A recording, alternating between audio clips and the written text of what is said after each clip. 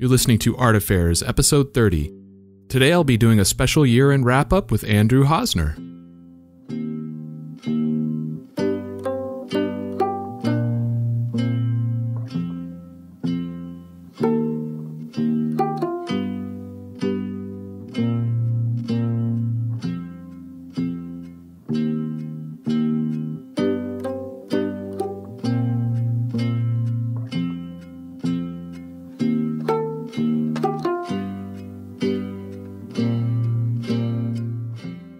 So my name's Michael Faith, and this is a special 2020 wrap up edition of Art Affairs. I'm happy to have Andrew Hosner from ThinkSpace back on the show, and my hope is that we'll be able to do one of these at the end of every year to, you know, sort of cap things off. Uh, but man, 20, 2020, uh, what a year to start doing this. It's definitely a different kind of episode, and we talk about how the struggles of this year really affected the art community, how it affected ThinkSpace in particular, how they adapted to the ever changing landscape, the gallery's brand new space, what 2021 looks like for them, and a whole lot more. So I hope you enjoy this special year end chat with Andrew Hosner.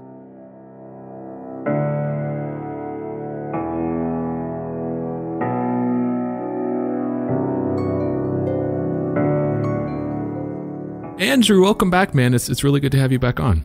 Oh, it's nice to be back on, man. It's uh, cool to see how uh, big you've gotten in the last year. You've been busy with art affairs, and that's awesome. Oh, I, I appreciate it. Um, and I definitely appreciate all of the support that, that you've given to, to me in the show for sure. Um, so, so we, you know, we had you on about a year ago. Um, and at that time, I guess it was right after New Year's 2020. Um, you know, I had all these extra topics that I had planned to talk to you about that we sort of ran out of time and didn't really get to. So I immediately floated the idea to you to have you back on to not only talk about those things, but also do a, a year end wrap up. Um, and at that time, I didn't really have a good sense of what a year end wrap up would even look like. Um, you know, this was pre pandemic. So my naive mind was like, well, you know, maybe we'll have some things to talk about, but I wasn't really sure what that looked like. And then 2020 happened. and now like I have an abundance of new things that I wanted to talk to you about. So could have talked about Miami and this, that, and other thing, and we are gonna do in Hong Kong, and then this cool thing we were gonna do in Berlin, and oh wait, none of that happened. But now there's like all these other things, all, all these other like yeah, you know crazy. Yeah, a lot of other stuff happened in the wake, but yeah, for sure. And so I kind of wanted to start there with like COVID and and how you know this entirely new world that we're now seeing ourselves in.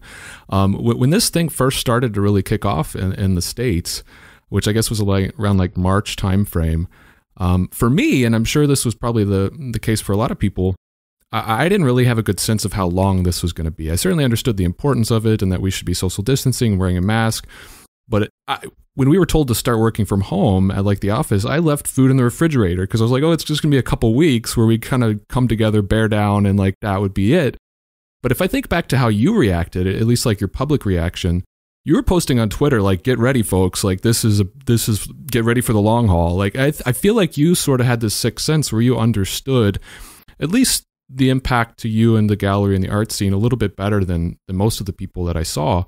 Um, so I you know I first wanted to applaud you for your ability to sort of reposition the gallery um, to continue flowing kind of uninterrupted but what was going through your head and like what did that process look like behind the scenes where you were first beginning to realize really the extent of this and not only the impact on you as a human, but also like the impact on your business and the gallery.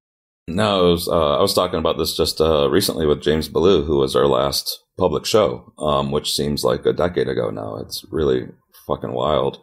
Um, but like, look, like I love just watching like news outside the U.S. because I know ultimately it just impacts us at some point. You know, um, and I was following the stuff in China as early as like maybe third, fourth week of January. It was all over Twitter. And, you know, some people were paying attention to it and some weren't. And um, I was just curious. So I was, you know, I actually made it like a follow. So I was like keeping tabs on the news coming out and whatnot. And um, as we were getting ready to head over to uh, Pow Wow, Hawaii, which takes place every uh, year right around Valentine's Day, right around the 14th, everyone was starting to talk about it a little bit more. It had been in the ether then for about two, three weeks to people that were, you know, paying attention, like I said on Twitter. And when we were over there, we were all, there was a, a handful of us that were joking, like, you know, I wonder if this will be one of the last times we see each other for a while. And, um, came back home and pretty much dove right into getting ready for James Bullough's show, which I think, if memory serves me, I want to say opened on March 1st or 2nd. And um, James having also uh, having a podcast of, uh, excuse me, of his own with uh, Vantage Point, um, you know, definitely is friendly and, you know, close with a ton of artists. So when his show came to town, it was like one of the biggest kind of gatherings of uh, creatives and just people in general that we had had in probably about a year or so. It was a really amazing turnout. And looking back, it was kind of a, you know, so many people that I saw at the show that night. So many of us talk about how it was like the last time we really all saw each other or had like a gathering that might not be ever like that again, just since a lot of people are going to come out of this with uh, a much different take on crowds. Like I myself, I can't see ever going to a movie theater again. I've gotten too used to seeing them at home, and then just the general notion of just sitting in a contained box, breathing a bunch of crap from other people. I mean, probably be rocking a mask for a long, long time. Um, sure. You know, you look back and think that you know you would see tourists from you know different countries in Asia, you know, always wearing masks when they were over here, and you always kind of thought, wow, you're just really kind of being overproductive, and now you're like, no, maybe you had your finger on the pulse, you know. It's like, yeah, I look back to like going to just you know buffets and stuff like that. My skin crawls now thinking about it. Um, like concerts. Are, I mean, yeah, when you're in a big concerts, crowd of people. I, you know, I think I think those can come back, and you just got to be weary. But again, a lot of people probably still wear masks just to kind of be sure. safe, just because who knows what will uh, breed off of this. But in terms of just uh, you know, once it really started hitting the fan, and it was obvious that uh, we weren't going to be having public openings anymore. Um, we've always been very kind of, uh, I guess you could say, digital savvy or whatnot.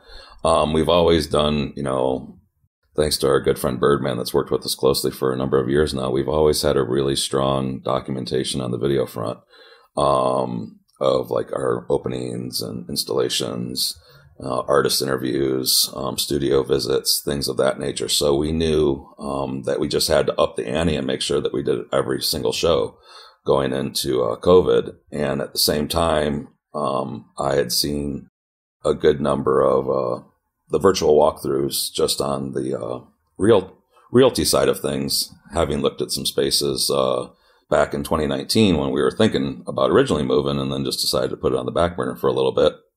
Um, and I thought, well, hell, let's look into that.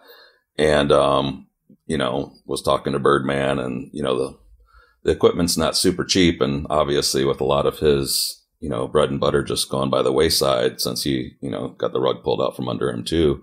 Uh, like a lot of people did with COVID, he was like, I can't really afford to get that gear right now, man. So my wife and I talked, and we were like, well, let's invest in this gear, give it to Birdman, let him, you know, basically work it off on events in the future, but enable him to start rocking things for us, and at the same time give him another you know, avenue to stay alive um, during COVID as well and use us as a platform. And once he got a couple under his belt with us, every gallery in town started hitting him up for virtual walkthroughs. And now, you know, at the end of the day, it's been one of his best years yet because nice. that's a pretty specialized skill and a lot of work. So you can charge a pretty good penny to do, you know, do it for other spaces. And he started doing it for some museums that we connected him with and even hooked up with a couple realtors. So that's like ended up helping him out greatly. And at the same time has enabled us to continue our program at full speed. And even, like I said, do the museum shows that we had planned that, I mean, both museums were pretty much not too sure about, uh, doing the shows with us still just because they knew probably neither of them were going to be, uh, viewable to the public. And then we showed them what we had did with our space with the virtual walkthroughs. And I think it just excited them to the moon. And now he's gotten three or four other museum gigs off us doing those museum shows with him because other museum shows, other museum institutions in town saw them. Uh, and we're like, holy shit, we can still, you know, do a show and have a lot of people see it. And ultimately, looking back on these past probably, know, eight months worth of shows that we've done now on a virtual spectrum, so many of them, and I've been talking to the artists about this, are now being seen, you know, and you can prove it by the numbers by thousands more people than they were when we were doing our normal thing back in 2019 because so many people obviously have a lot of time. And at the same time, we've grown our international market tenfold by, you know, doing our walkthroughs at around noon when there's so many other people that continue to do them at like six, seven o'clock at night, like it's a regular thing. And it's like you're only playing to your market at that point. You're on the web. When we go live at noon, we can pretty much hit all of our fans. You know, I think it's like 1 a.m. in Hong Kong at that point, or not even, or it's a little later. But everywhere else, it's still, you know, people can tune in and you're playing yeah. to a much more international market at that point, which is what the notion of doing something like that is all about. And, you know, when we're doing the walkthroughs, we got people commenting from just crazy places that are super stoked to see, see the gallery and see what we're doing and connect with us and talk. And, you know, and I think just be a part of a, you know, a movement is what this all is about, you know, so. Well, and I think that's one of the big, um, big components that I like the most. I mean, I, I, live in Austin, right? So I, I never really get to partake in your opening nights on a normal you know, Saturday evening or whatever.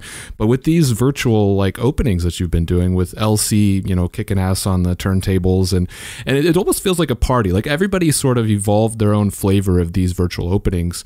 And I think to your point, I think y'all's are unique because it, I think it's the closest to the feeling of what an actual opening, like a you know, a traditional opening would be. Uh, so I guess how, how did you come up with that formula that you ended up going with for for your own virtual openings? Yeah, I mean, because we're trying to do it, I guess, trifold. We we've got the you know the nice proper video walkthrough that Bird films. That's usually three to five minutes long, and we'll you know lay some artist audio over it to give it a little extra context and some nice beats that he does. And then we've got the virtual tour, which is the self guided tour of the space that I was talking about earlier that we had to get his um, special supplies and camera and gear for.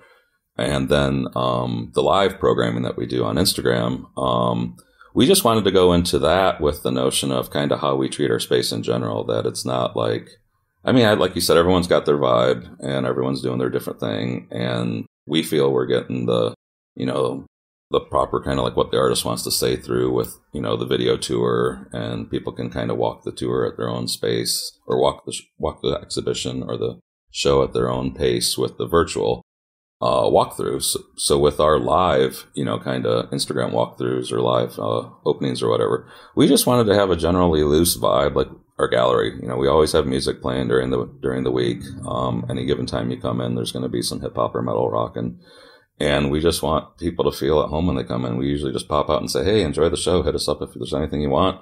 And we leave it to be, you know, we're not like an automatic like car salesman mode or bugging them or you know just it's, best just that's how i like to enjoy a show. And that's how we always try to you know just make people you know it's not like a nod up you know search for gucci and then look back down or whatever like a lot of blue chip galleries. We actually like you know like i said we do a soft little interaction and then if people come to the back and want to talk to us or you know we open up and chat and stuff. And so we just wanted the the vibes of these to just be kind of opening and um early on in COVID, we stopped it once people kind of got out of lockdown. But for the first three, four months, we were also doing the Friday happy hours where we'd go live at around like three o'clock in the afternoon, which was right around, you know, drinking time for everybody. And, um, we'd have a, you know, few glasses of wine and a blunt or whatever with everybody and walk people through. And Elsie was jamming and just, you know, that was really super loose. And as we started doing more and more live openings, we just kind of merged the two, I guess and got a little bit more loose. I'll speak my mind, say what's up, um, talk about the orange dickhead, all that stuff. and just, you know, it's, and I have people comment to me like, oh my God, you're going to lose followers and this, that, and the other thing. And it's like, that's all ether. I mean, people put way too much weight on that shit these days.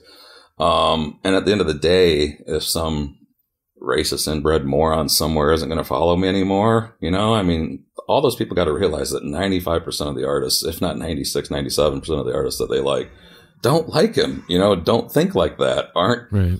you know, of that mindset. So the fact that they'll then get uppity that one of the people that they like or, you know, somebody like myself speaks up, it's like, he, he, it's like when those guys find out that Rage Against the Machine was singing against the government and had a black guy in the band, and they're like, "What the fuck? I hate that band." I mean, when that call came about two, three months ago, I was crying. Tom Morello, like, yeah, I think it was oh, Tom that was just right? epic. Yeah, Tom was talking about it, man. But it's just, it, it's that, that's just epic. You know, it just shows you how fucking dumb they are we just wanted to uh, we just wanted to make it a fun vibe, man. We just wanted to make it a fun vibe, make people feel welcome, and at the same time, you know, if somebody wants to see another piece, we you know, they'll comment. We'll go back and check it out. I mean, we've been keeping them to, you know, 40, 45 minutes whenever it feels right. And I don't know, anywhere from like 800 to 2,500 people tune in. I mean, it's not crazy, but it's fun. But between that and then the live, you know, video or the, the video walkthroughs getting three to 5,000 views and the virtuals getting right around that much action. And then on top of everything else, I mean, it's, it's right around the eight to 12,000 mark of, you know, people that are seeing the shows now, just like actually viewing them walking through. Whereas before, you know, we'd get three, 400 people for an opening, a good one, you know, 100, 200 for not, maybe 100 people throughout the month, you know, depending on the show. And then the video uh, recaps of the openings would usually get a couple thousand views. Um, so by comparison, I mean, there's so many more eyes on the shows now. Um, it's crazy. And we've had a really, really strong year. One of our top two or three. Um, you know, the dust hasn't settled yet and things are still, you know, going quite well considering, uh, everything. But we've done a lot of, did a lot of fundraisers this year. Um, did a lot of like inventory sales to help our artists out where we incurred the discount and things of that nature. Um, things that some people questioned and this, that, and the other thing. But in hindsight, I'm glad we did it. We helped a lot of people out that wouldn't have sold work otherwise. We raised about 110k total between uh, benefits that we did for Black Lives Matter and the Australian fires and COVID relief here locally. Um, so, I mean, we definitely did our part and at the same time tried to, uh, you know, keep things active and entertaining and exciting on our programming front, as well as doing a number of contests this past year, which gave a lot of people, you know, a nice distraction and hope and you know, something to work towards and, you know, new little communities developed out of it. And that otter contest we did, that's still one of the favorite things I've ever done in my life. I mean, it was just so much fun and everyone had so much fun with it. Well, and I was going to ask you about that because that that that was just after things kicked off. It was like a month after or whatever, and everybody was rightfully so like losing their mind trying to figure out what their new normal Climbing was. the walls, yeah. Right. And you introduced this sort of fun contest that, you know, ended up being a great distraction for people. And I think people really embraced that and, and really dove into the fun of that. So how did you first get that idea to, to really push that out? Um, we were just sitting around one day, my wife and I just, and Otter was being Otter, our big fat Maine Coon cat. He's like 12 pounds a beast. I think he was like 14 at that point. We put him on a little uh, diet this COVID, and he's down to 12 pounds now. But anyways, uh, he's a monster of a Maine Coon, and he was just being himself in a box. And I took a photo of it, and I joked with Sean. I'm like, oh, it'd be funny to see people do this. And she's like, we should do something fun. And we started riffing about it. And um, I just said, fuck it. And I think like maybe an hour later, after uh, getting a little uh, I guess, uh, herbal influence in me, I decided to uh, put together the contest. And uh, I honestly thought we'd get like, you know, 30, 40, 50 people. I, I, I just didn't know what would happen. Um, the fact that, I mean, I, I still have people that do do it and will tag me and like, I know it's way past, but I came across this and I loved it and I just wanted to share it with you. I just think it, it warms my heart. I, I get emotional about it because it's just amazing. I mean, that, that our lovable fat cat brought like over a thousand people together. And, um, you know, we ended up finding some really amazing artists out of the batch, not to mention a lot of our artists that are like super established just did it for fun.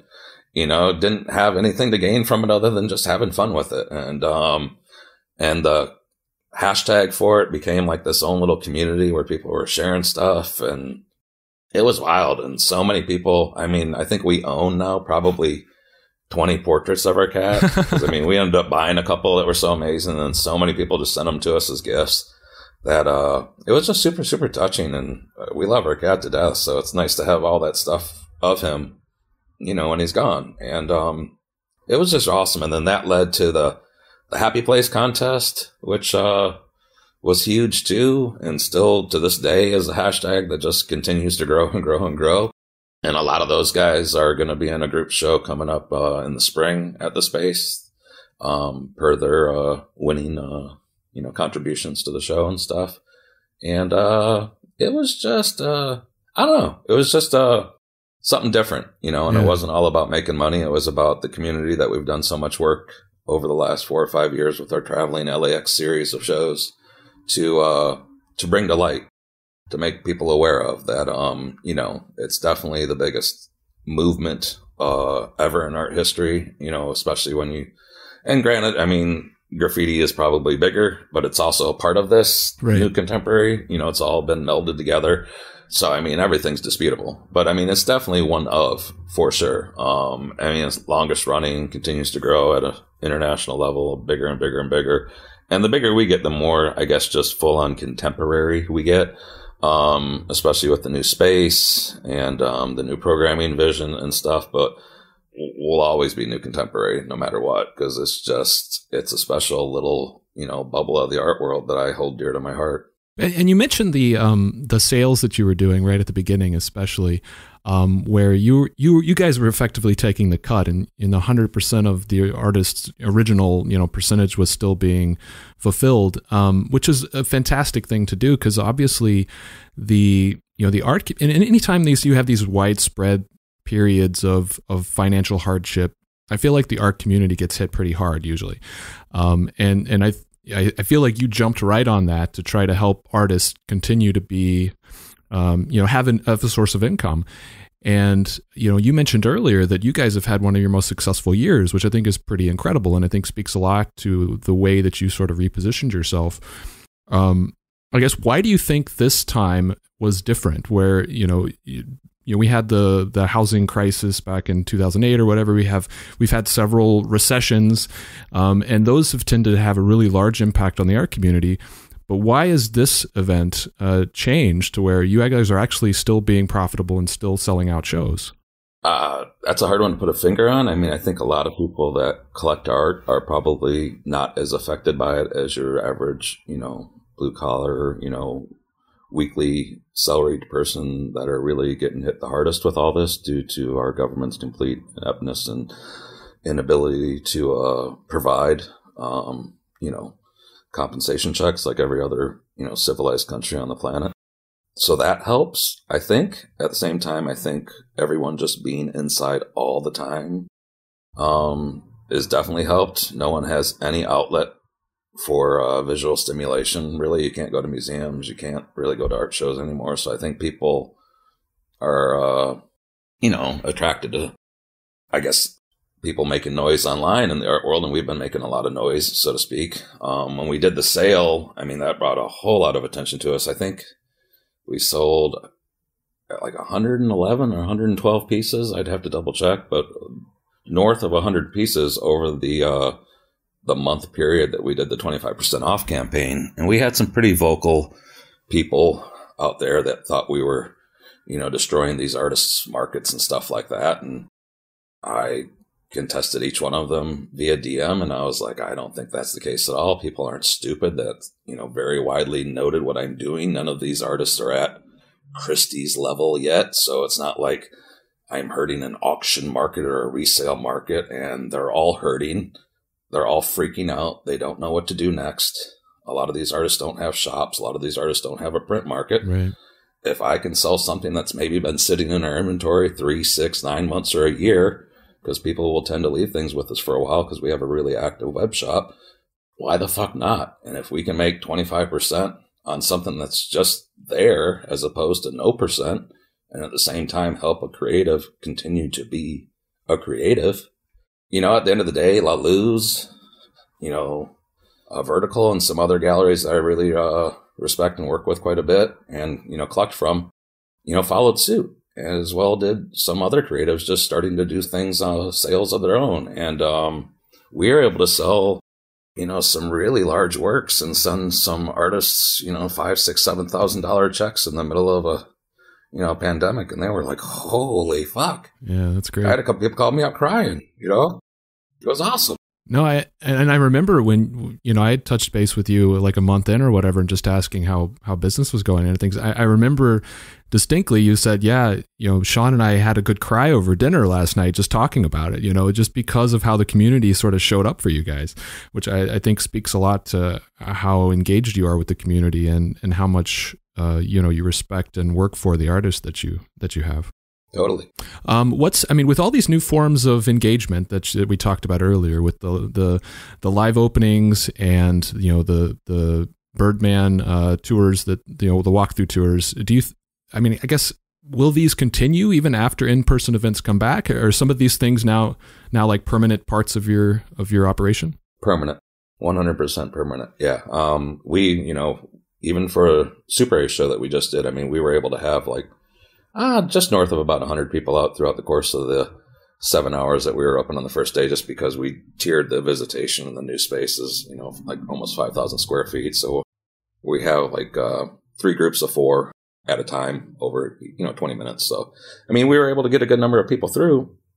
It felt comfortable. You know, the staff, our staff was in the back behind the new big steel door. You know, my wife and I were out with our masks and welcoming people. Everybody that came through was, you know, doing what you should do, just rocking a mask and being civil and um, keeping distant, checking out shows and getting out of there. But we still, you know, went live right before. We still had uh, Bird do his, uh, you know, video tour, which we just launched. The virtual tour will be done, uh, I think, in debuting on Monday for this one. Uh, took a little extra time just because he uh, had to get used to the new uh, space and new editing that we had to do just because it's a much bigger space and there's a lot more that Birdman had to do on the back end. But uh, moving ahead, uh, that's definitely still the plan, and we'll still do the uh, the virtual uh, studio tours with the artists. I mean, in the past, I would always do a studio tour if if, if uh, the artist is local, or if I was just lucky enough to somewhere, you know, be going through their studio in the five six months before the show. But going into COVID, um, this was something we adapted right away too. I just thought, well, why the hell can't I just ask the artist to film a bunch of miscellaneous B-roll over a month or two period? They don't have to be, you know, you know, this amazing director. Just get me a bunch of good B-roll, get it, get it to me at you know horizontal format, and then record, you know, like a couple different audio tracks, like a longer one that we'll put on the uh, your uh, studio visit, and then a shorter one that we lay over the uh, walkthroughs of the uh, exhibitions that we were talking about earlier, and um, everyone started doing it. And then I'll just I'll just give it to Bird, and he kind of works his editing magic and puts together something pretty rad and throws some music over it. And they've been coming out great, and they've been getting anywhere from three to six thousand views every time, um, just on Instagram. Not to mention like a a good chunk on YouTube and a good chunk on Facebook and a good chunk on Twitter. So I mean, upwards of you know, on average five to 8,000 views in total, which is a lot of, you know, good additional exposure. And, um, we're going to definitely continue to do those because I myself nice. love them. I love, I mean, that's why I do this. I love to see into the minds of a creative and the more that you can expose their vision without, I guess, directing a person's perception of their work, because everyone wants you to be able to read into things. I think the better educated our you know patrons can be and their buying habits and knowing why we work with an artist because sometimes it's hard to convey you know why we work with somebody until you really get into their heads and understand you know what it is that we see what it is that we love about them and what we can see them being in three to five years, you know, a decade right. from now. You know, I mean, some of the artists we work with right now are amazing, but I know what they're going to be in three to five years, a decade from now, and it's exciting you know, and if they're working with us still amazing, you know, that's a plus. But if we helped them to just be still creating in 10 years, that's also a plus and to be a part of their story. Um, earlier on, it sucked when someone left. Now I get it. You know, everyone's got to keep growing. Um, just like on the corporate ladder of a regular gig, I guess. So, um, but now we're getting to the point, especially with the new space to where, you know, we're making it very obvious that we're in it to win it that we're not fucking around and that we want to really present our artists on a uh, on the next level in a blue chip type setting without the blue chip type bullshit. Yeah, so so that's interesting. I wanted to talk to you about that when um you know the December shows. You know, we, you mentioned the fact that that was the first time you really kind of opened back up to the public, but it was also the first show that you've had in your new space. And when we talked around this time last year, that was one of the things that you said was coming in 2020 was your 4.0 you know iteration of ThinkSpace. Um, so tell me about the new gallery. What's uh you know what's the space like? How are you breaking it up? Like what what's going into that? Oh no, for sure. Um, uh, like when we spoke, I think the plan was that we were going to start looking for a space, you know, probably a month or two after, and definitely move at the end of the year. And then COVID hit, Yeah. And uh, we kind of had a talk, and we were like, you know what? Let's wait. Let's talk to the owner of our building, at, you know, the, the Culver City spot, which we just left, and see if we can get another year lease. Just and just keep it simple. And um, when we went to talk to them, we found out that uh, they were about to tell us that uh, they were selling the building, and the new tenant was probably going to like almost double our rent, like was happening to a lot of people in Culver City. And um, we were like, well, fuck that. So I had my eyes on a couple stretches of, uh, I guess, uh, areas of, uh, you know, retail, so to speak, just storefronts, warehouse areas in LA that I wanted to, to move to if we ever did. So we basically just went out one afternoon and just drove around these areas, found a few that we wanted to look into. And, um, this is one of the, like the handful that we looked at. And as soon as we walked into the space, I just could see what we could do to it. Um, was an old warehouse space built in 1955. Um, it's 4,500 square feet with like a thousand foot uh, enclosed back area that um, we're turning into a nice little chill area for our uh, for our staff, and at the same time, like you know, VIP hangouts after the openings and stuff like that. And there's a killer mural by um, the Perez Bros that they did of our staff, nice. all of us kind of checking out their dad's uh, 61 uh, gem um, at a parking lot out in the valley, and um, it came out just killer. And it's just a really nice like nod to our longtime crew um, to kind of be there. And it's funny how many people will walk back there and just like trip out on it that have been to the space so far. And um, the new space was all about having a really big back room since we do a lot of museum shows and had a, a lot more museum shows ahead in uh, 22, 23, and uh, 24, even a couple in 21 at the end of the year if uh, everything stays on track for uh, getting back to you know whatever the new normal is.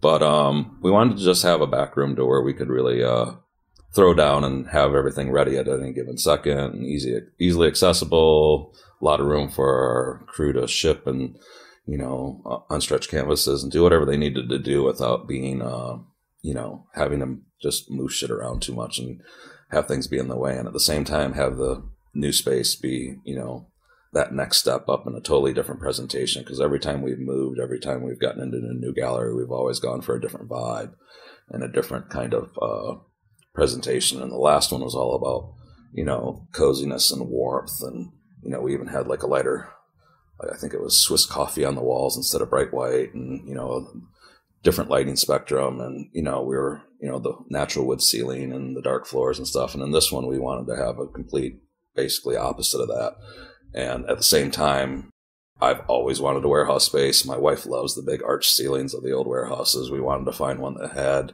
skylights. We wanted to have one that we could really make our own. So when we came into this, it was just bare bones. It was perfect.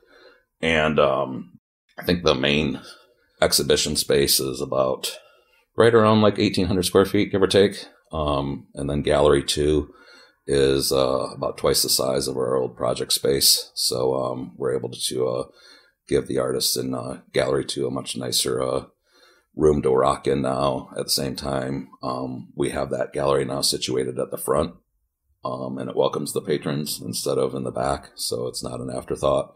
And then they get to kind of check out the first show, say hi to Ken in the office, you know, sign up for the mailing list, whatever, get the new postcards and some stickers and some buttons, and then you know, kind of go around to the corner into the expanse of the main space and kind of be wowed and check things out. And it's just nice to kind of have like just that next level of uh, presentation that we were going for. And we got these brand new LEDs that are uh, kind of state of the art with um, brand new AC that's like super silent, polish the floor to like the extremes of shininess. And um, just wanted to kind of just uh, I mean, it's a good bit bigger than the old space, but at the same time, we're telling every artist that's on the uh, program for 21 already that was a little freaked out that we're not looking for a lot more work. We're just looking to present it at the next level. Um, we got really lucky due to COVID that the price of the place is not much different than where we were, but we get a lot more bang for our buck. We're a lot more centrally located. We're in an exciting new part of town that's got restaurants and other galleries and breweries popping up, uh, party beer companies right next to us. We're going to be doing some exciting things with them in 2021. Highly likely, which is a amazing new cafes across the street. We're going to be doing some cool things with them. The L stop for the train is like right around the corner. Um, you know, the 10's right around the corner. I mean, it's just one of those like really beautifully located neighborhoods when it comes to knowing how people in LA kind of get around and uh, or don't get around, so to speak, in certain parts. so it's really well located. Um, it's only 2.2 miles from our uh, old location in Culver City, and um, it's roughly just about two and a half times the size of the old space. And um, we're super super excited. Um, the walls are 12 feet high, the ceilings are 20 feet tall it just is a wow factor when you walk in, and it really presents the art in a uh, whole other level. Nice, nice. Um, are you organizing the space a bit differently than before? I noticed in the copy for your December shows, instead of main room and project room, it was gallery one, gallery two. Was that more of a conscious decision to distinguish those differently? We just wanted to have a different vibe. Um, it, the space is set up differently, um, and at the same time, the people that we're programming into uh, 21, 22, and beyond for the uh, for Gallery 2, Project Room always kind of had the connotations of like a testing type grounds, and, and, and it was in a way. And we're going to try to up the ante a little bit. Um, and that's also why Gallery 2 is at the front now.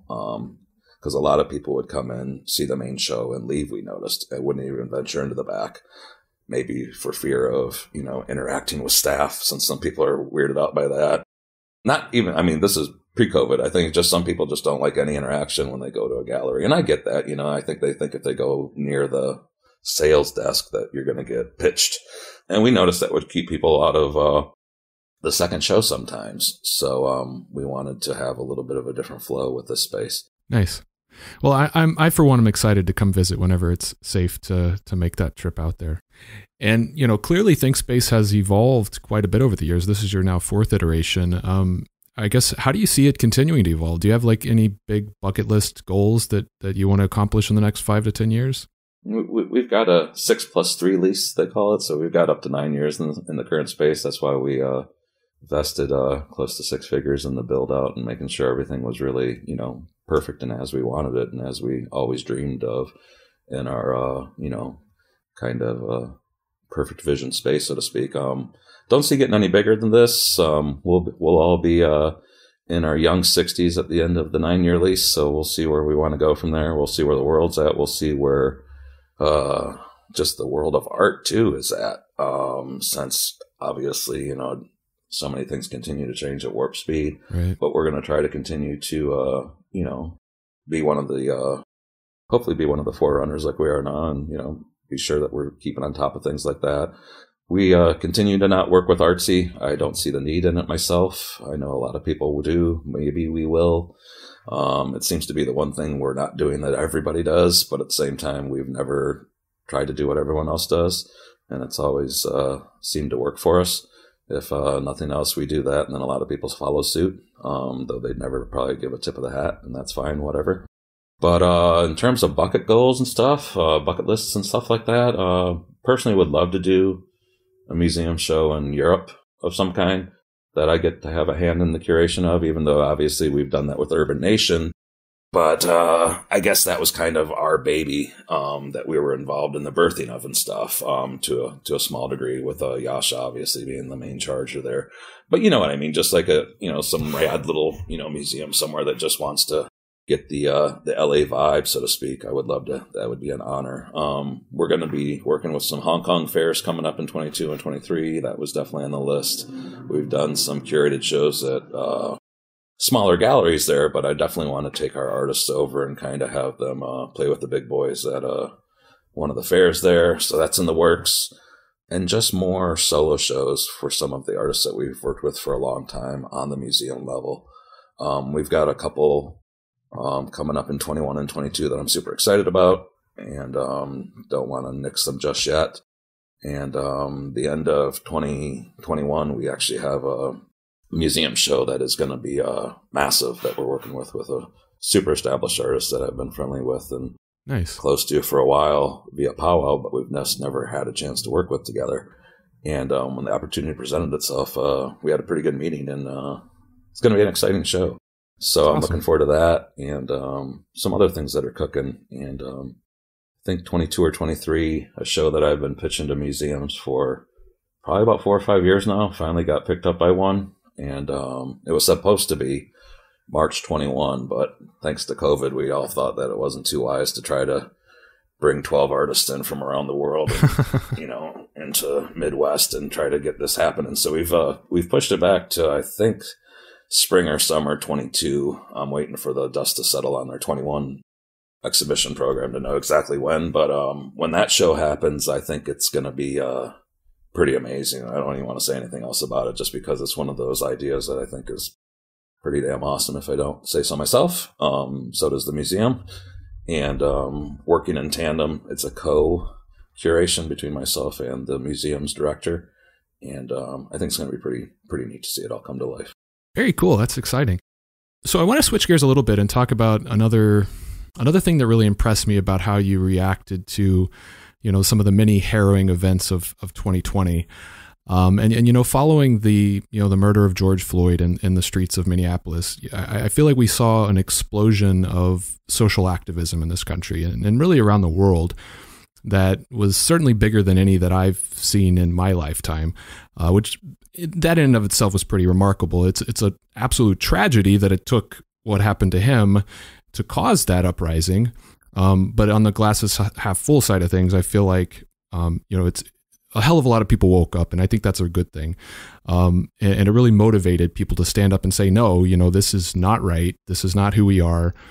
Um, the kind of systemic social racism and constructs of oppression um, that are the underbelly of our country, uh, we're not going to take that anymore, right? We need to do something about it. And you touched on it earlier, how you've always been very outspoken about these things and you face them head on and really stand up and speak your mind, um, not really taking into to consideration, you know, the, the people who might unfollow you or whatever, right? And and I think that I really embrace that and I really appreciate that because at some point silence is complicit, right? At some point if you stay silent long enough, you're part of the problem, right? And so silence is violence, as it became a saying during all this, isn't it? And it is. You have to speak up. You have to say your mind. You have to use your platform. I don't think we've regained our same number of views on our stories since that because we've been so like blackballed by fucking that douchebag that runs fucking Instagram and Facebook, fucking the moon boy. That guy's like someone should take him out more than Trump. I mean, he is the biggest cancer on this planet next to Bezos. I mean, it's, it's absolutely insane the influence that douchebag has. And anybody that was speaking out on BLM since has never regained the same. Really? Oh God, I, I talked to so many people that were vocal about it. I mean, and we continue oh, to man. put something up at least every few days, you know, to make sure that people know that it wasn't just a fad at and at the same time nothing's gotten better at all right right. you know? And um i mean small minutiae here and there in a few cities but i mean minutiae. But yeah i mean i mean like uh, anything we put up before in stories would be like in the three to five thousand range uh, of views which is so low. I mean which is still just utter you know blackballing compared to like a year ago it'd be like 10 to 20,000 views. Right. Now it's like if we break you know uh, that number it's rare. Um, and it's ebbs and flows, but I can tell like the day after I'll put something up, it goes back down to like under a thousand. And then it takes me like a week to kind of crawl back up to get out from under, you know, the thumb of, you know, social oppression, socialism oppression on the, you know, social net oppression, I should say. Sorry. Right, right. It's just wild. It's obviously in their metrics. Um, they don't want people to see it. They don't want people to be influenced by people that, you know, have a platform that have a voice. And um, early on, we just decided to, you know, get right on board, speak our mind. We did that print with Kayla Mahaffey from Chicago that just, you know, ra- raised like north of 80K for, you know, BLM and the ACLU and, um, and, and, and continue to just really get our voice out. I mean, um, it's important to me. Um, my partner in the gallery, LC, is, you know, a person of color, our long-standing, I think nine, ten years now, director Ken Fluellen's a person of color. Um, everybody that works for us is, you know, a, a minority. Most of the artists we work with are. It's just one of the things that just, to me, is I just wasn't raised like that. I just, right. you know, a friend was a friend. I didn't have a black friend. I didn't have a Mexican friend. I didn't have an Asian friend. I mean, it, it's it's what it, we're all people, you know, and we all have the same skeleton underneath us, you know, and we all have the same blood running through our veins. And it was just important to us to speak up, and we lost a ton of people, a ton, like thousands, And then when that shit with, uh, I can't even remember the douchebag's name, that artist out of Texas that decided to get vocal, and I decided to take him on. I don't, I don't remember. That, that. was hilarious. um, yeah, that was hilarious. I can't even think of his name right now. What what, what was he saying? Was it just like Colin lane sort of thing? I think, or something like that. Ah, it's not worth getting into and giving okay. him any more time of day. I mean, he just decided to go all white power one day on his feed, and I went into the comments and I brought it to the attention of a bunch of people that supported him, like juxtaposed and stuff. And uh, he's since become like this like poster boy for, you know, the white right. Yeah, exactly. Whatever the hell you want to call them, the the proud boys of the world. Ugh.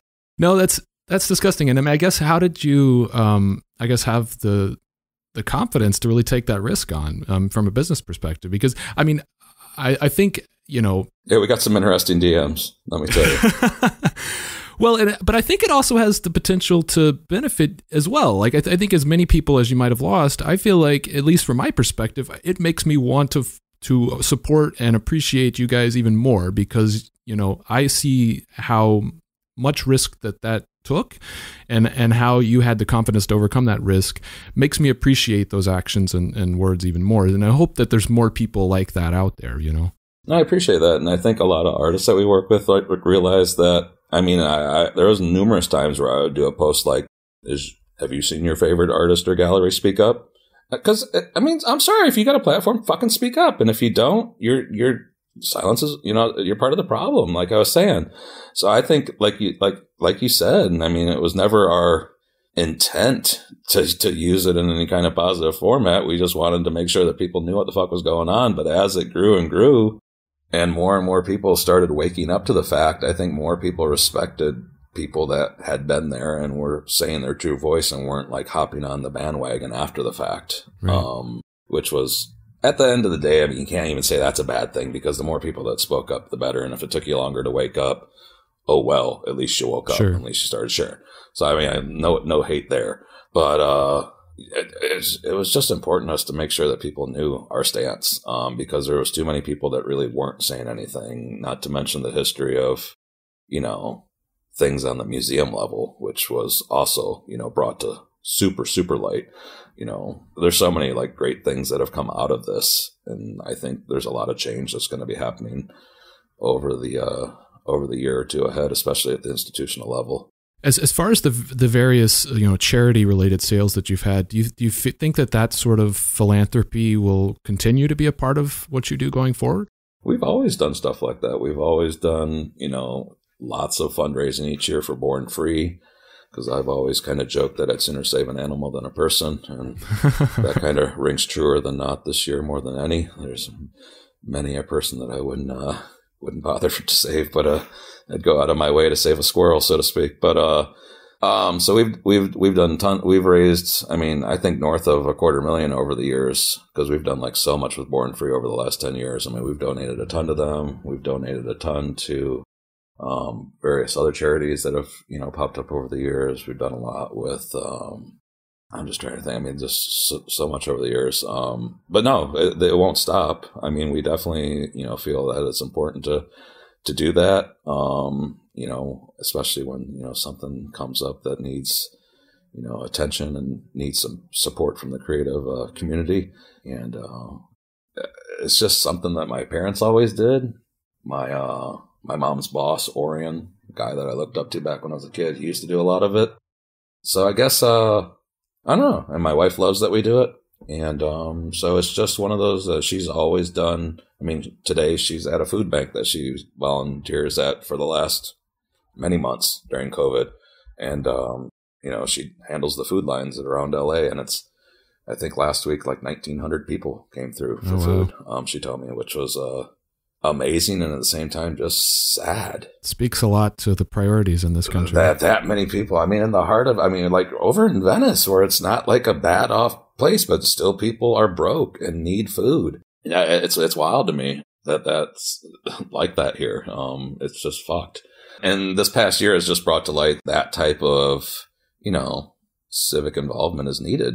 You know, um, especially if you've got a a nice platform and we've got you know, not that if everybody's tuning in like we were just joking about. But I mean, we've got a, a, a, good breadth of followers between all of our social networks, not to mention a pretty healthy, you know, mailing list ourselves and a lot of traffic on our website. So, uh, and our blog. So, I mean, we're able to, uh, you know, say our piece and have it, uh, have it be felt. I've noticed, and that's, you know, something that's good. And, um, I, I'd say on average, we probably donate at least 50,000 a year to different things due to everything, little things we do and whatnot. But this past year, like I said, was definitely one of our bigger years there where we donated, you know, north of six figures.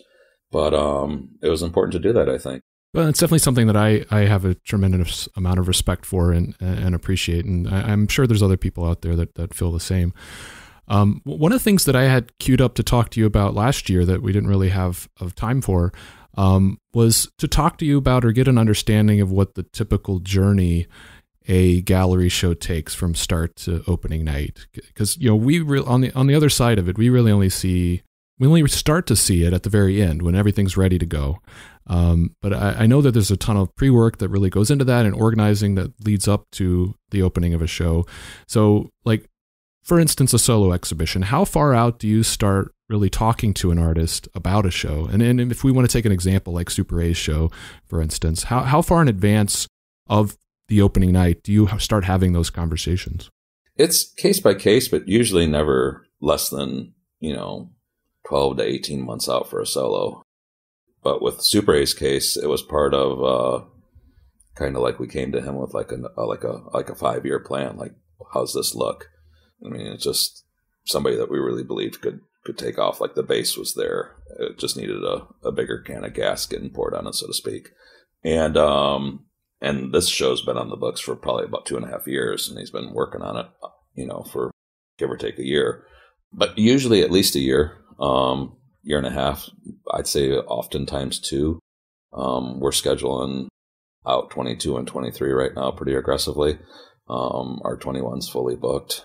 And then, you know, like I said, starting to work on a couple of uh, museum shows for 23 and 24 that are ways off, but museums work out, work three to five years out usually. And you know any artist that you know really has you know the demand and things going strong for them usually are booked a couple years out too. So that's usually kind of where you're working with. But in terms of like when things really start going to that next level it's usually six to months to a year out depending on you know whether it's a you know main gallery gallery one you know gallery two type show how much work's going to be needed and just you know if the artist is working on oils or you know he's looser, he's detailed, he's hyper realist, that type of thing. So it's it's always a case by case. But I mean, once you're six months out, that's when things are you're like, you know, making sure that you've got a few works ready. Let me see them. Um, start talking to them about vibe of the show, what they want to say, if anything, with the PR. Um, start talking about travel, shipping, getting get get. Then like three months out, you start figuring out like the show title, getting things ready for press, you know, things of that nature. So when you first put it on the schedule a couple years out, um, is it just putting a, a, name down and you don't really have a good idea of what the show is going to end up being, or do you have a sense of what the theme is going to be um, that far in advance? Not usually that far out. No, it's just knowing that uh, it's either an artist that we're already working with and it's just the next stage in you know their creative development with us, or it's an artist that uh, we've had an eye on and you know know that everything that they've done in the past year, I you know slept my grandma to own um, that I like it so much. So I definitely trust that they're just going to get better. I can only think of a couple instances in the entire 15 years we've worked where things changed enough in the year and a half or so to where when we got the show, I was like, oh, that's not quite what I was expecting. But, um, but I came around to it and the show still did well, you know. So, I mean, it's not worth naming names or anything like that, obviously. But I mean, it's only every once in a while has it, uh, like I said, only a couple instances in uh, 15 years to where it didn't really, I guess, uh, pan out exactly as I had envisioned. But uh, more often than not, um, it's just knowing that the uh, artist has a good work ethic and, you know, the chops to really crush and just keeping in touch with them and making sure that they know that we're going to make the show all it can be. So we hope that they do too. Do do they tend to come to you with an idea for a show and say, "Hey, put me on the calendar, coach," or do you tend to come out and reach out to artists that that you are looking for, uh, working with to, you know, see if they're interested in having a show with you? Mm. I'd say it's like 60, 40, 70, 30 on the greater percentage, us reaching out. Um, with the new space, it's funny when we debuted it, how many people hit me up within like the first uh, couple weeks of the images getting out there that were like, hey, that I just never thought of showing. So that was nice. It was cool. Yeah. Um, I mean, I wish there was enough time in the day to show everybody that we like and you know support and are friends with. Unfortunately, uh, we're actually cutting back a little bit as a, as we've discussed on you know the focus and stuff as we go into uh, 21 and 22 and beyond. Um, not to mention introducing some really amazing new uh, talent coming up in 21 that we're uh, excited about, like you know solo shows with artists that we've you know never really shown before or have only shown in one or two group shows to kind of you know, get to know each other first. But um, super, super excited. How does the theme usually come together? Is that usually something that the artist kind of does on their own, or do you work with them to, to propose a theme and kind of go back and forth? Or uh, I've only planted a theme in a couple people's minds before. Like Scott Listfield actually was pretty uh, uh, vocal about like how we kind of dreamt up the last show and some other ones and stuff. Um, but more often than not, um, no, I, I like people to do what they want to do. That's also why we've kind of strayed away from theme shows over the years. Um, there's galleries in town that'll be like, hey, you know, this does well, do like a bunch of this, or, you know, this artist does really well for us, paint like this. I mean, I've heard it from artists, and it's, uh, I get it. I mean, I, and, and if it helps you guarantee some sales, I guess that's not a bad thing. It's just not my gig. It's just not my, you know, our flow or vibe, what have you. Well, I think that's smart because I, uh, I mean, my perception as a collector is uh, an artist's work is that uh, so much better when they have a personal investment in what they're working on. When they're excited and passionate about the thing that they're working on, then their art shows. I mean, the, the work shows uh, that much better. So if they're not, and it's something that they feel like they're kind of forced into because of uh, of a, a market or whatever that they're trying to to to keep, then I think it's going to take a toll on the work, right? 100%. Like an artist I know you collect and love, um, and that we've done like, I'd have to check four or five solo shows with and I've worked with for a long time and did his first museum, you know, mini retro, mid career retrospective, Esao Andrews. Um, I've never once, other than just giving feedback when I visited a studio, like, that's fucking blowing my mind. Have I ever been like, oh, you should paint a bunch of bunnies on ships because your collectors really like bunnies on ships and stay away from, you know, creepy girls and stuff like that. But, at the end of the day, everything that amazing gentleman paints finds a home. Right. You know, and uh, I love his imagination. I would never try to, uh, you know, tether it in any way. I just let it run free, run wild, and you know, it's it's always exciting. And that's the same with anyone that we work with. Um, we wouldn't work with them if we didn't trust them to, you know, kind of rule their own empire, so to speak. And we're just the lucky gatekeeper, so to speak. I guess you could say that uh, allows people into the kingdom. When it comes to like installations and murals that you have accompanying a show, you know, especially back when we had more in-person events where, you know, that was a bigger part of the the exhibition. H- how does that usually happen? Is that something usually you propose to an artist, or do they come to you with an idea for that? Uh, I always let everyone know, like, as soon as I invite them, that our space is their space to do with what they want. So, like, if they want to paint the walls, if they want to, you know, put carpeting on all over things like Reader did or whatever they can dream up. Let's make it happen.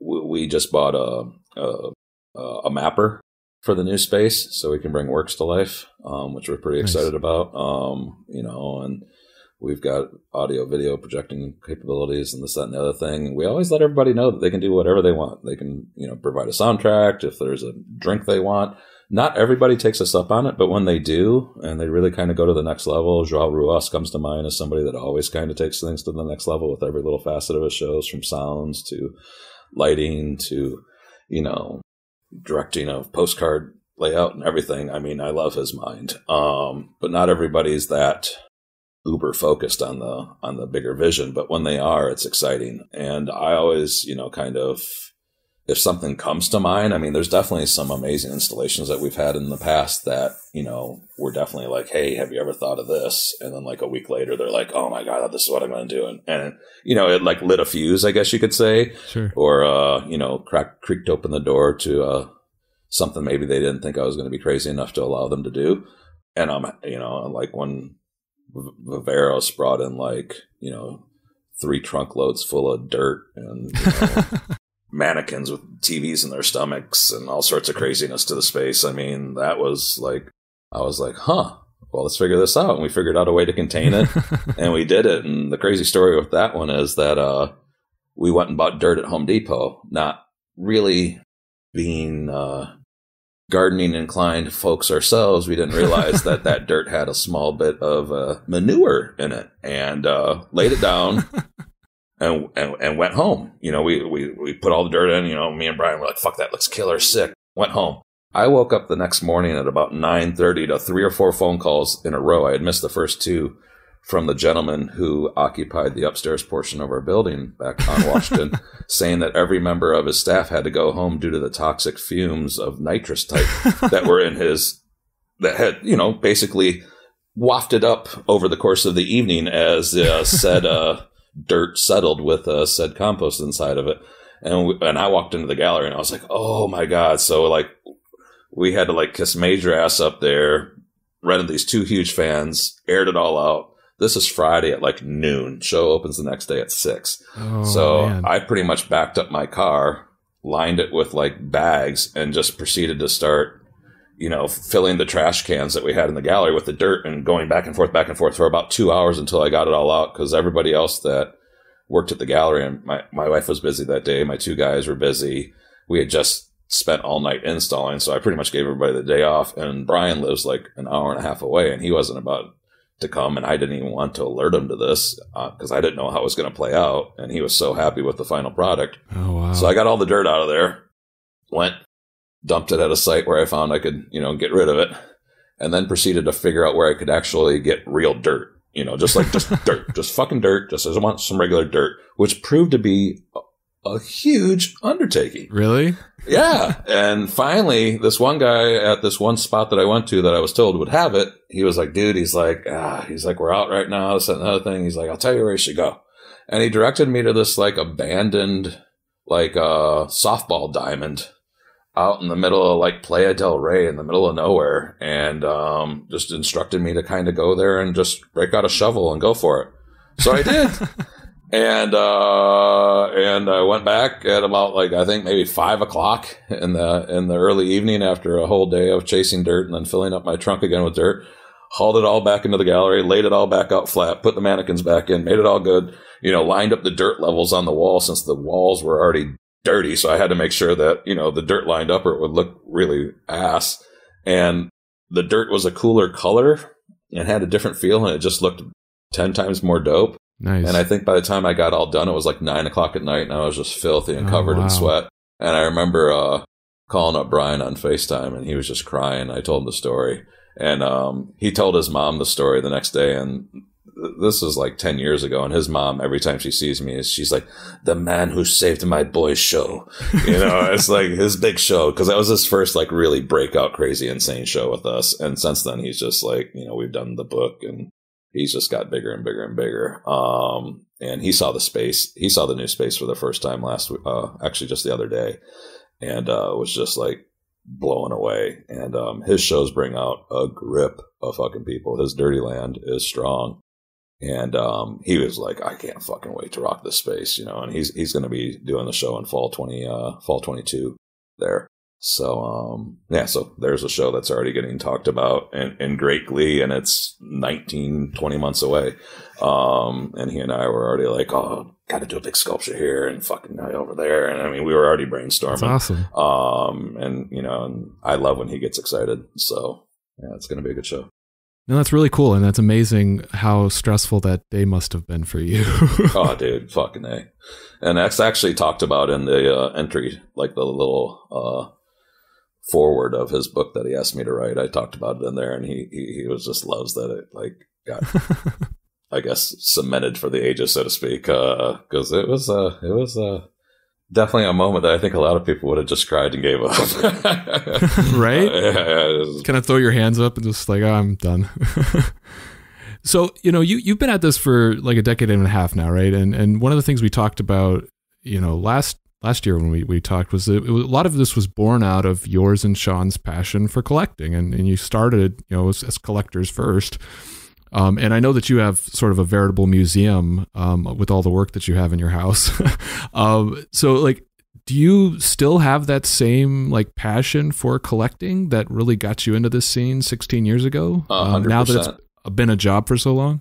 I always still say that I'm a collector first. Um, and unfortunately, my email makes, you know, other galleries question selling to me sometimes, especially as our tastes have shifted a little bit to some artists on a little bigger trajectories. Um, I just had probably a, and this blew my mind that she gave me the time. I probably like an hour and a half conversation with one of the head salespeople at Perrotin, which is a pretty late, major, you know, space with, you know, galleries in probably four or five major countries and work with, you know, Ryden and Barry McGee and, you know, the upper echelon of folks. And, um, we had collected an artist by the name of Otani Workshop when he was with Kai Kai Kiki because I have a pretty good relationship with Murakami. He's bought some works from us, and at the same time, the gallery director I've become friendly with over uh, meeting in person at the last few complex cons. So we've got a pretty good in there with them. They know that we're you know collectors first, that we're not buying things to flip up at auction three to five years later and make the quick buck like a lot of people are doing right now.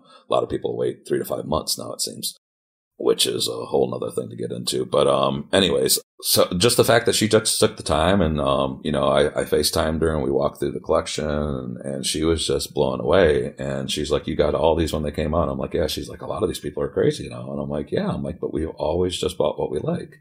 And I'm like, and that's why I'm still wanting something from Otani. I know this is probably the last show that I'm going to be able to afford something from by.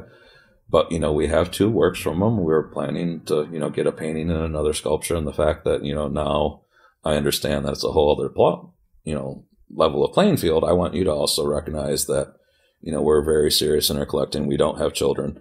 You know, we're both getting to the age to where museums are going to start to pay attention to us. You know, once you kind of hit sixty, then the collector committees will start to listen to you because you know the closer to death you are, the more they know that they're closer to getting your collection, so they want to talk to you. Um, but we've done our due diligence. You know, I've done the MoCA Contemporaries Board. I've done some stuff with LACMA. You know, we've done a lot of stuff with smaller institutions around the town and all the shows that we're, you know, doing now with museums across the states. You know, I make sure that as I get to know all the directors, I let them know that, hey, you know, our long term goal is to be sure that this, you know, collection that we've amassed over the last 20 years and will continue to build for the next, you know, 10 to 20 is something that we want to stay together to represent you know, our snapshot of what this, you know, was. And while it doesn't contain, you know, museum level massive pieces, at the same time, it does contain at least a small work from just about every major player in the game in some capacity or another in a very kind of Herb and Dorothy esque type curated fashion. And anyone that's not familiar with that documentary should definitely look it up and enjoy it. We've been, uh, you know, I, I, I'm not full of myself. I mean, but other people have called us the Herb and Dorothy of the new contemporary world, and it's it's it's a huge honor to even have that come out of somebody's mouth. And the few people that have said it, I hold great weight and respect for. So, uh, you know, I don't feel weird, you know, sharing that or whatever. But um, it's what we're going for. I mean, we collect on a you know a modest budget, you know, and at the same time, not much of the work is from our gallery. We don't cherry pick very often, and more often than not, we would try to wait to after the preview goes out, so the works do have a chance to get into the you know other collections and shine, you know, be be exposed and whatnot. And now that we're starting to you know work on some mid career retrospectives, like with House Show, it was amazing to be able to you know reach back out to some people that we've put works into their collections and now you know afford them the possibility to have a work from their collection have the institutional you know nod and be shown in a museum because then that's pretty special for the collector too um, and builds the relationship with the collector and the artist more. So um, that's all stuff that's definitely on the bucket list. Just more and more of that, and at the same time, just more building of our personal collection and our personal ties, which at the same time I feel strengthens me as a gallerist and as a you know a representative of people's work because I get to learn how other people you know kind of present things. Some of the things that she asked me and came at me were, were just so blue chip driven, but at the same time were really interesting, you know, to see the, what went into just weighing out who was going to get a piece, you know, which is, uh, interesting. Yeah. Yeah. And like, uh, no, so it's, it's been, it's been, it's been pretty interesting. And at the same time, we're like watching the auction market more, uh, the last few years than we ever have before. Um, since a lot of our collecting tastes are getting to that level.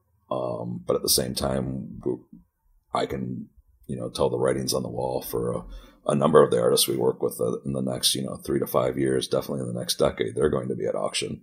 So it behooves us now to, uh, you know, get our footing. Have Have you found that that your personal, like your your shift in in personal taste as far as art goes, uh, affects your creation at all through Thinkspace, or are you able to kind of separate those two, where you have more of an objective perspective on your creation side? I mean, everything that we buy, we're not we're not buying anything out of, you know, assumption that it's going to go up in value. So, I mean, that's definitely our, our collecting is still based on how we curate. I mean, we show what we love, um, and we buy what we love. Um, if it happens to take off, that's a plus. But with that said, I mean, the whole notion of the move was, you know, directly influenced by, you know, some of our, I guess, bigger level collecting ourselves in the last few years. Just knowing that, you know, a stronger focus is always going to provide a stronger platform at the end of the day and is going to make, you know, patrons um, be more inclined to, uh, you know, believe the vision, so to speak, if we're not doing so many bigger group shows and so often. And a lot of that, like I said, and I've been pretty vocal about, was the whole notion of just making sure that everyone knew what the hell was going on with the movement and giving everybody a platform. And we've we travel a lot, we do a lot of Pow Wows, meet a, meet a lot of people. So at least we were able to give everybody a small little, you know, taste of them, you know, of you know exposure and give them out there and give them a chance, and hopefully they you know take that opportunity to run with it. I mean, not everybody's gonna you know go from 100 artist group show to a solo show with us, and that's just the sheer reality of just not enough gallery right. space or time in the month, so to, or in the in a year. But, you know, um, as we, you know, decided to kind of take that next step with this new space, we also knew that uh, a next step was needed in terms of, you know, representation of our strong, strong base of artists that we've worked with for a long time and new artists that we were approaching that we knew um, needed to uh, to know that they weren't going to, you know, have so much, I guess, other. I hate to call the group shows noise, but I've had so many people call them that I'm going to just go with that. I mean, just because it does take a lot of attention away from whatever main show we are doing at the time when all of a sudden we're having to present and promote and market, you know, upwards of 100 artists in a show. And as I get older, I'm also, uh, you know, very well aware of, uh, you know, being realistic of my health and my boundaries and not, uh, trying to run around like a 20 year old too. And I think it's just come, come a time with, uh, where a lot of our artists that we've worked really hard over the last, uh, five to 10 years, especially, especially the last five, to grow and develop and, you know, do bigger shows with at museums and uh, fairs and things of that nature that uh, we didn't want them to ever feel the need uh, to think about going anywhere else, that we wanted to reaffirm our uh, commitment and dedication to their growth and their uh, long term development. And I think with this new space and our uh, new programming, we're going to do just that. Nice. Yeah, and so we, we talked a lot about some of uh, 2020 and you know the bad and good aspects of it. Um, mostly bad, but the way you guys reacted was good. Um, so, so I want to talk about what you have coming up uh, in 2021. Um, and and I guess first off, you have um, you know at the point where this show comes out. Uh, the end of this week will be your first show in 2021, uh, Aloha Mr. Hand, which I guess opens on January 9th. So, what can you tell me about that that group show? Yeah, that that group show um, came about. Um, we just we originally had kind of taken January off, um, figuring we were going to need it to settle from the move, and uh, as things got uh, a little bit more progressed, um, we could tell that we were going to be ahead of the game, and uh, we were like, "Well, hell, man, let's let's put together a pretty pretty killer lineup of uh, you know who we're really looking to to build long term, who's on the program for 21 and 22." And um, at the same time make it a sick group show, but make it like a, a real who's who of our uh, core roster. And um, at the same time, introduce some new new people coming up that have big shows later in the year. And um, we're pretty excited with um, what we put together. I've had a few people ask where the name came from. Ah, I noticed a bit of a trend in the last two or three years of just silly movie quotes being show titles. I always thought it was kind of funny. I was like, I'll keep it in mind. And when this show came about, a lot of our group shows will always have a really strong one word kind of like powerful, you know, like like Nexus or you know things like that. Just like things that we just are, you know, we just want to kind of have like a strong marketing, you know, foundation to work with, and it's not too, I guess, uh, it it doesn't direct things too much in terms of you know what do you expect for the show. It's just more like a statement, almost title. Um, but with this one, with the new space being so kind of proper and next level, we we still wanted people to know that our vibe is fun. And um, Spicoli to me is the ultimate kind of fuck it all type dude. And um, I had just watched it uh, on rerun on some uh, cable show like maybe two three days prior and I always crack up at that line. And um, I was like, "Fuck it, man, let's just do that, and we'll pull up some, you know, cheesy like you know stills of him for the promotion and have some fun with it. And the artists have loved it, and it's just you know just just showing a good vibe. And um, we've got about I don't know, I think about like maybe uh, just shy of forty artists in the show, which is a good core of our fam.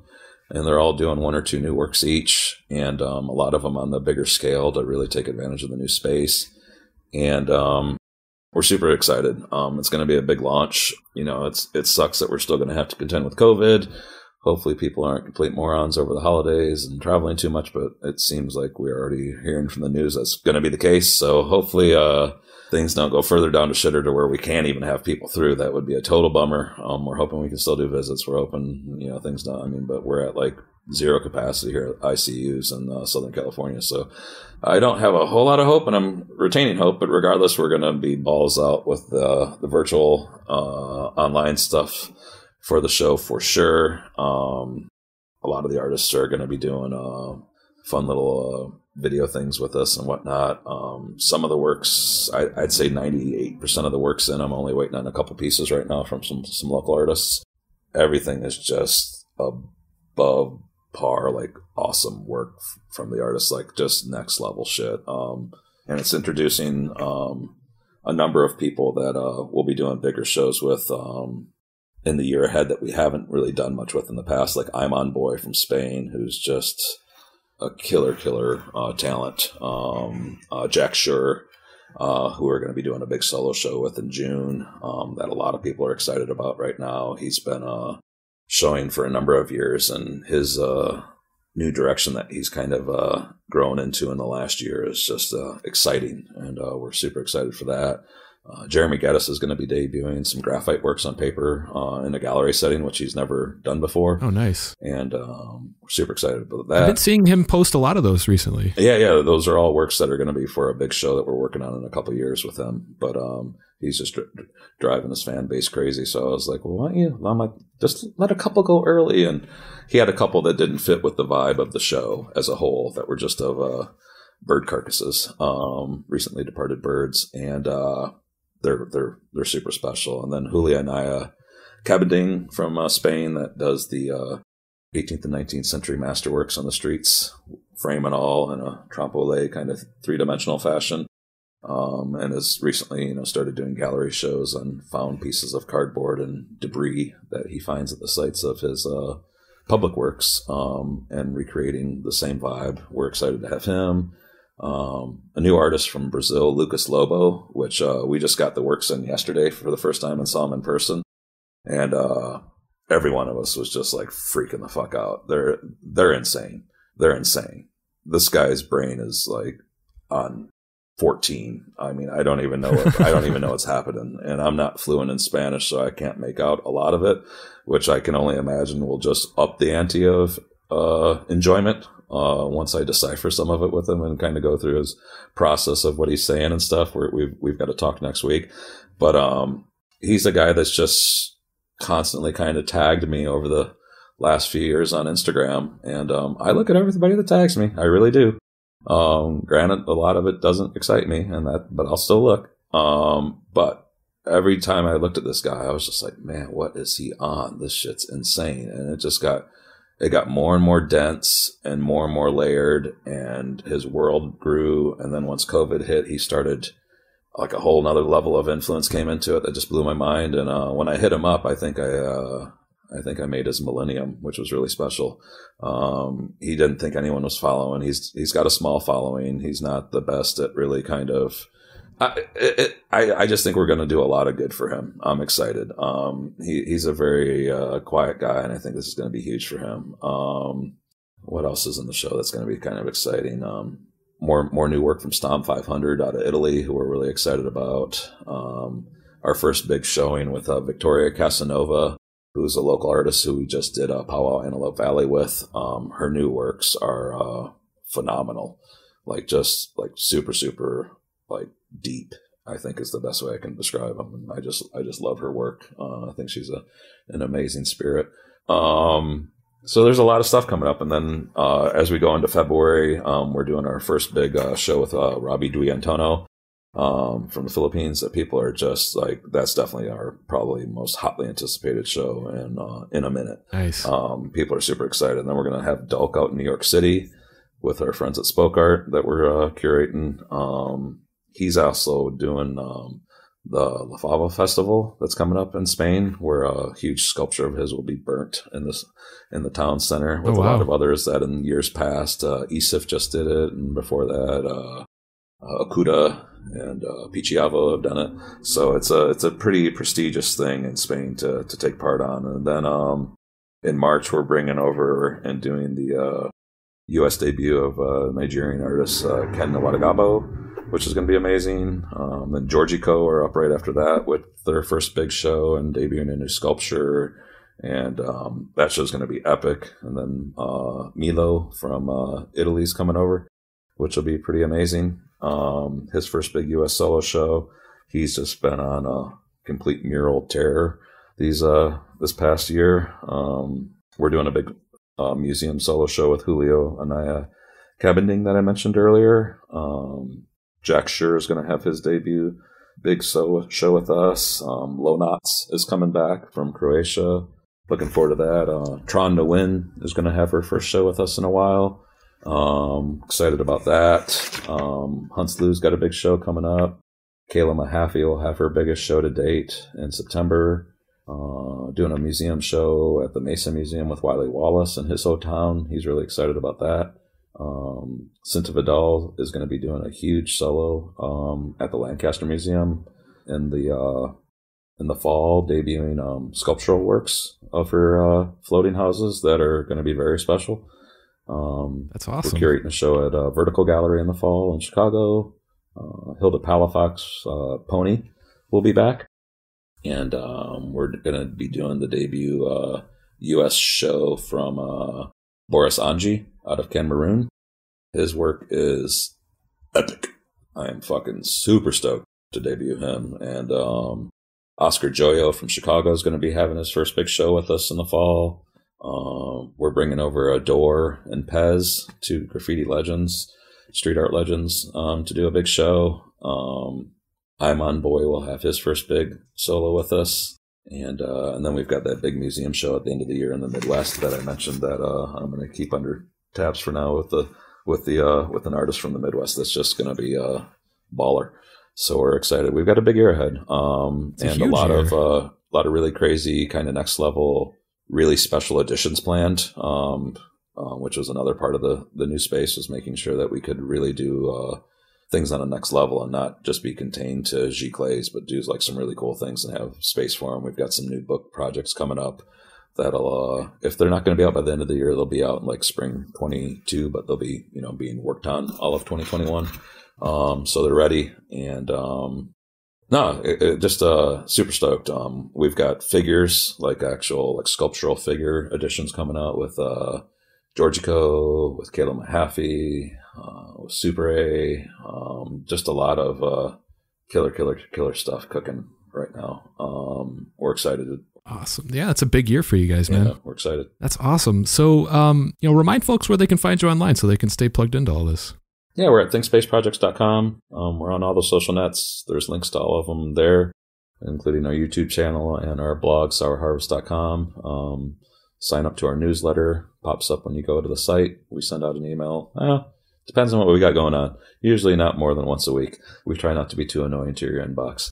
And that's really the best spot to keep tabs on us. That gets you all of our show previews in advance. We usually send out a show preview the Monday before every show opening. So if you're a collector, you get a chance to check them out before uh, the general public does. Um, usually by the time you see things on Instagram, it's already too late. And I try to impress that upon people.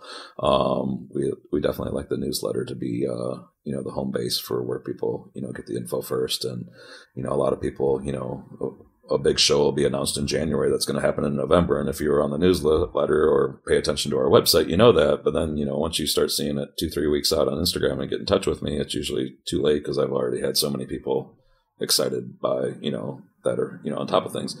That's never a bad thing. That just means that's helping to set up the next show. And we always give everybody the time of day and talk them through the process and stuff like that, just because, um, you know, that's how you keep things growing and building.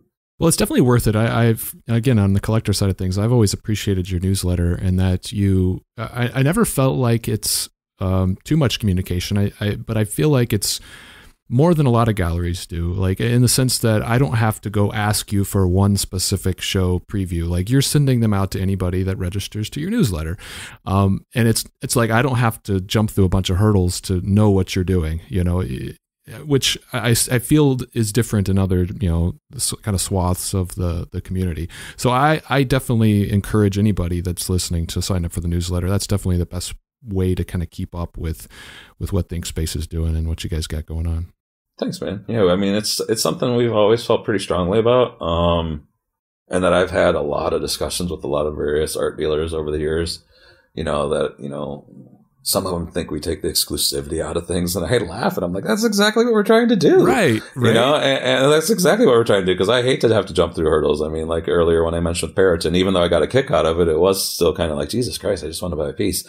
Um, but I understand when you're dealing with an you know somebody that's got that level of collector base from so many different you know spaces around the world, not to mention you know artists that reach that level of demand. So it's better to make sure that they go somewhere that's not going to flip them. I get it you know, I mean, we're, we're, we're starting to enter that realm with a number of artists we work with ourselves and, you know, making sure that it's just not a first come, first serve, you know, basis. You have to.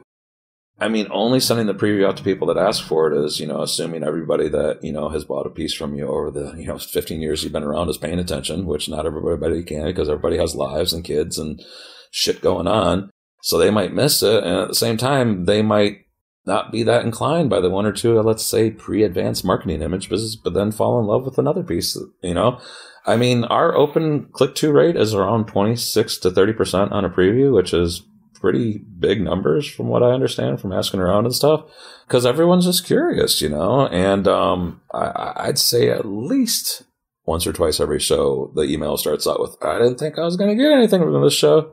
I didn't think I was this artist was on my radar, but holy shit, I see what you see in them now, and you know I fucking love this. I gotta have this piece, and that's awesome. And that wouldn't have happened if I didn't, you know, send it out there wide. And you know, some people will be like, "Oh, you're taking away the surprise for people that want to come see the show," and it's like, well, your average person wants to come see the show doesn't have to click on the link. Exactly right. It's like the age old thing with like music. It's like if you don't like the music, don't fucking listen to it. Don't make me put a label on it because you're afraid your kid's gonna, you know, go out and burn churches down if he listens to some metal music or whatever. It's like it's almost the same thing. Like just just let it be out there, let everybody check it out, and and the the same notion with like the live things and our video tours and everything like that. Just making everything as public as you can be. I mean. Uh, I've I've gone to check out video tours at other galleries, and you have to like sign in and get you know subscribe to their newsletter, which eh, is a cool tactic. I'll give them that. But it, it's just like another step. Whereas we just want people to be able to check stuff out, and that's why we put everything like that up on our blog too. So it's just like right there for everybody to check out, and you know, easy access, like a portal and and I, I I like being surprised by art. It's like I, if if I'm re- yeah. if I'm required to ask somebody for a preview, I may not ask for all the previews that I could potentially end up liking and not even know it. You know, kind of like you said, you know, you, you have people stumble upon new work that they didn't even think going in that they would be into, but they are. You know, and the fact that we put pricing blows a lot of people's minds. But to me, that to, to have to follow up and do that, like, am I worthy? Or or like what what Google search they're going to do on you to see what pricing they give you, since a lot of galleries have strata of pricing for you know people. Like what might be four thousand for you might be six thousand to the guy that walks in with nicer shoes like an hour later. um, that's why the pricing is not listed. That's why they do that. I mean, if you read the books about the art market, which are out there, and they're not bullshit, it's what happens you know and then you know i mean we've had it happen a couple times over the years where an artist has moved on and their new gallery will be like can you take down their pricing history please i'm like why are your fucking patrons too stupid to realize that that's how the art world works i want to see that somebody was maybe $500 four years ago and now they're 5000 that's awesome you know but some people get freaked out about showing that, you know, or even showing the current pricing because then they can't do the, you know, the, the cup dance. Like, which price do you get under these three cups? You know, it's like, let me see which one you get. Oh, you got the nice car. You get the big price. But that's how the art world works. The blue chip world works. I mean, it's heavily documented in film and book. Well, I've always appreciated the transparency. So, no, that's what we aim for, just to make sure everybody just feels comfortable. Uh, you know, you're not feeling like you're, I don't know, get, getting a rectal exam to buy a piece of work, so to speak. you know, you just just make it enjoyable and make sure that people, you know, know that we love art as much as they do. You know, that's why we do it.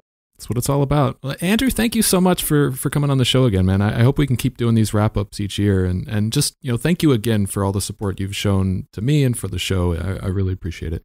Yeah, thanks for the love, and uh, let's hope that uh, when we meet again, there's not uh, as much crap that's gone down. Let's hope it's been a, a more prosperous year for us all. That's uh, I think the best way to end this. That's uh, onward and upward in 2021 for everybody.